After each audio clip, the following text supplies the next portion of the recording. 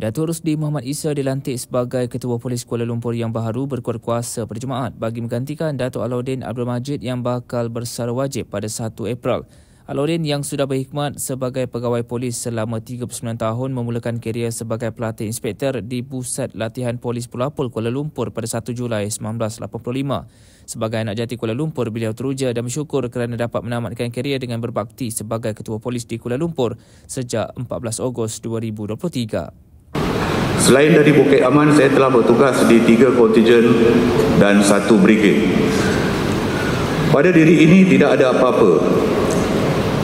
Tiada kehebatan atau kepakaran, tiada juga intelektualisme atau keyakinan diri. Apa yang ada pada diri ini hari ini adalah semata-mata ihsan dari pasukan keramat Sang Sata Biru ini.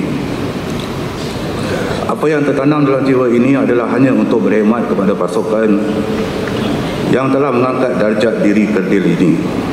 Tidak akan ada kehebatan dan kedudukan jika tidak kerana polis Raja Malaysia yang telah menjadikan darah saya lebih biru dari merah. Dengan rezeki dari kerjaya polis inilah saya telah membesarkan keluarga dan anak-anak saya selama empat orang. Beliau berkata demikian ketika berucap pada majlis serah terima tugas di Ibu Pejabat Polis Kontijen IPK Kuala Lumpur pada Jumaat.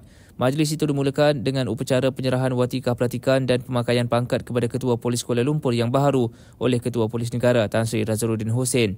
Majlis kemudian diteruskan dengan upacara menandatangani dan pertukaran dokumen serah terima tugas di antara Alauddin dan Rusdi serta penyerahan tongkat kuasa. Antara jawatan penting yang pernah disandang Rusdi termasuk Timbalan Pengarah Siasatan Perundangan Jabatan Siasatan Jenayah JSG Bukit Aman dan Timbalan Ketua Polis Pulau Pinang.